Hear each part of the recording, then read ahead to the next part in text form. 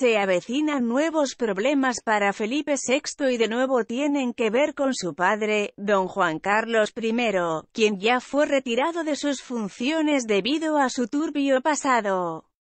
Por culpa de sus acciones los actuales reyes de España juegan un gran papel para restaurar la imagen tan dañada de la Casa Real. Es el país donde más odio existe hacia la monarquía y en parte es por culpa de sus protagonistas.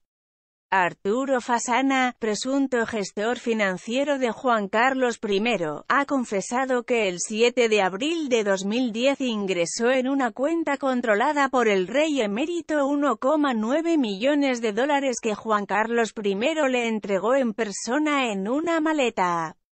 Según Fasana, Juan Carlos I le explicó que los fondos se los había dado el emir de Bahrein, Hamad bin Isa al-Jalifa.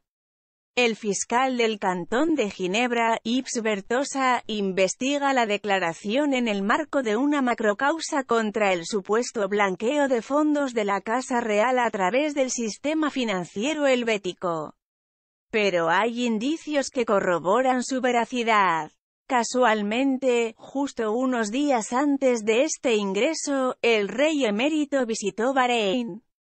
Consta que realizó este viaje para asistir al primer Gran Premio del Mundial de Fórmula 1, que se disputó el fin de semana del 14 de marzo de 2010 en ese diminuto Emirato del Golfo. El monarca saludó a los tres pilotos españoles que disputaron el campeonato, es más, se dejó ver por el Pado que incluso fue entrevistado, brevemente, por la sexta. Si usted lo pasaba mal viendo las carreras, a partir de ahora va a sufrir mucho más, le preguntó el periodista Antonio Lobato, por la gran presencia de españoles en la competición. Bueno, en fin, ayudaremos todos, respondió el rey. ¿Qué le ha dicho a Fernando? ¿Cómo está? preguntó de nuevo Lobato. Nada que nos veremos en el podio, comentó el rey. Arturo Fasana relató a la fiscalía que el rey le telefoneó para decirle que quería almorzar con él en su casa de Ginebra. Fue durante la comida cuando le explicó que el rey Hamad bin Isa al-Jalifa le había regalado el dinero y le pidió que se encargara de ingresarlo en un banco.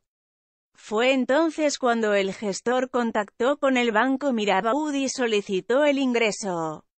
Según se refleja en la cuenta, el rey emérito utilizó este dinero para asumir todo tipo de gastos de 2010 hasta 2012. Fue ese último año cuando, cinco meses después del accidente en Botsuana,